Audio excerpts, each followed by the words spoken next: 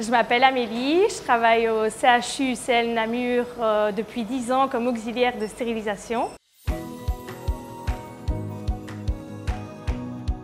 J'ai travaillé pendant un an au brancardage. Ensuite, on m'a proposé de venir travailler euh, en stérilisation, un milieu que je ne connaissais absolument pas. Il faut une certaine rigueur, euh, savoir travailler en équipe, avoir euh, une bonne mémoire, savoir respecter les procédures, la marche à suivre. J'adore ce que je fais, j'adore mon travail. La charge que je préfère, c'est le reconditionnement des boîtes. Il faut faire travailler sa mémoire, etc.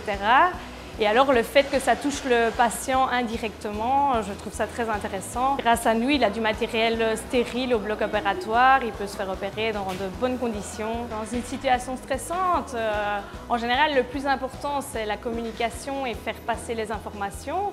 Après, on ne sait pas aller euh, plus vite que nos machines. Si euh, on nous amène du matériel urgent et que nos quatre autoclaves fonctionnent, ils ont quand même un temps d'attente, c'est 90 minutes de stérilisation, etc. Pour moi, mon métier est important parce que sans nous, euh, le matériel ne saurait pas sortir stérile. Il ne pourrait pas y avoir d'intervention, de consultation.